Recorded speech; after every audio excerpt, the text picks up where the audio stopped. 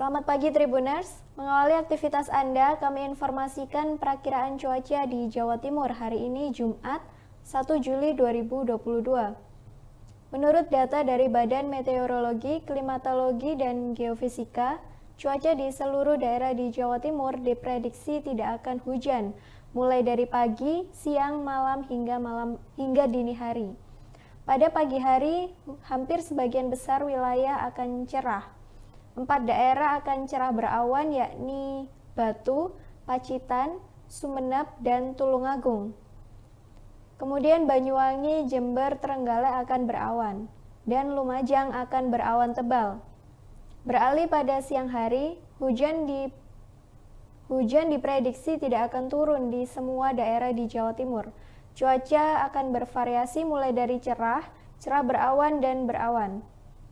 Cuaca cerah dan berawan masih akan bertahan pada malam hingga dini hari.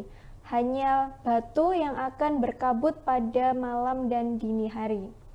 Untuk kota Surabaya, BMKG memperkirakan akan cerah mulai pagi hingga malam hari dan cerah berawan pada dini hari.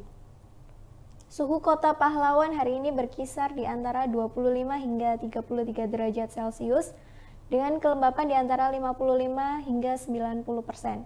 Sekian informasi perakiraan cuaca di Jawa Timur hari ini Jumat 1 Juli 2022.